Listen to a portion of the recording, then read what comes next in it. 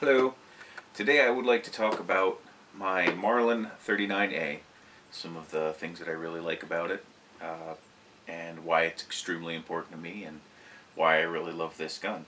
So uh, that's what we're going to do today. The Marlin 39A is a tubular fed magazine. In the state of New York it holds 10 rounds. Check other states to see what you can carry there.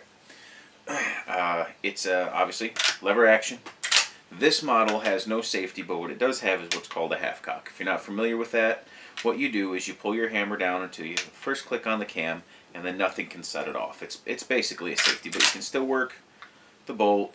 If you have to, you can pull it back manually and still fire it. It uh, has a nice smooth trigger, uh, good walnut stock. The sights, you have a blade front in the sight and a semi-buckhorn in the rear.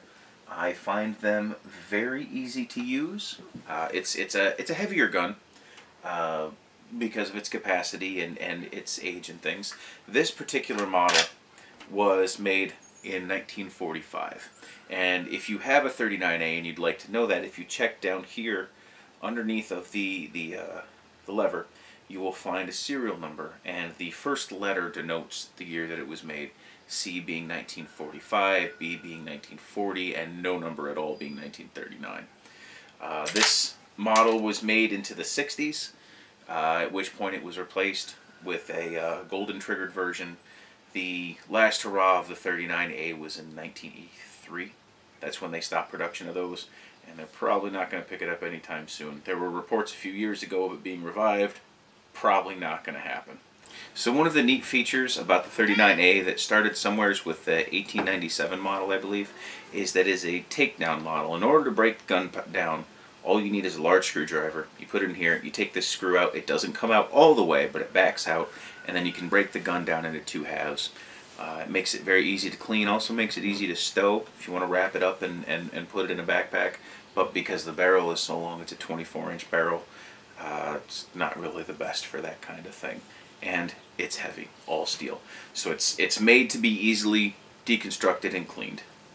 Um, so that's that's the basic features of it. It fits well. It's uh, because of the sights. It's easy to acquire a target with it, even when it's on the move. I've taken many rabbits and squirrels, small game with it. Uh, so that's the basic functions on it. Now I'd like to talk about why it's important to me. So one of the reasons why this particular firearm is, is very important to me is it's what I call a generational firearm. Um, I am the third generation of my family to hunt and carry this out in the field. And that's one of the things that I, I think people miss a lot about firearms is this can be a heritage thing. Uh, my grandfather, this was his rifle. I remember watching him shoot squirrels, rabbits, uh, water snakes with it, uh, and it always had fine accuracy for him. My father, as a young man and uh, as a kid, took a lot of small game with it. In, his words, he couldn't tell you how many rabbits he took with us. Um, it's it's a it's a fine pairing with a beagle, I can tell you that. Um, and I personally have carried this firearm from one end of this state to the other. I mean, from the Canadian border down to the the Maryland line. It's it's gone with me, and it's taken game everywhere I've gone with with no issues. Uh, some people would would say that's not really a heritage thing, but to me it is. Um, you know, it's it's something that three generations of my people have shared, and, and that's that's pretty cool. Um, and and it's one of the things that's it's very important that you have something to hand down to your children, something they can they can look at and say, wow, this was this was something that was carried by my grandfather. You know, this this particular rifle is it's almost seventy years old. It's seen a lot of service, and to still be accurate and to still be going at that age is pretty impressive.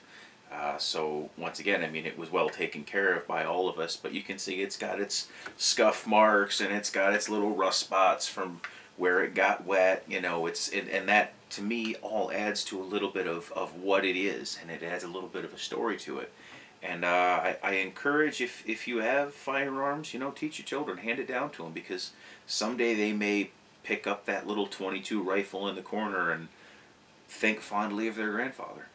So that's why this is a, a, really important firearm to me and one of the reasons that I think firearms are really important. So in conclusion, if you like lever guns like I do, and you like a smooth action like I do, I mean, that's pretty nice. Uh, if you're looking for a heavy old gun that's all steel, that's easy to take apart and clean, this is a great option.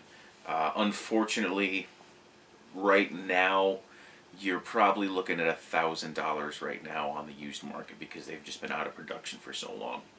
Uh, I, I would not recommend buying anything that does come out of the new production until it's been proven just because of some of the issues that they've been having with quality control. Uh, but if, if you like old classic lines and you like something that's going to be around for 70 years, uh, this this is a great firearm and it's something that you will be passing down to your children and their children. So thank you very much and we'll see you next time.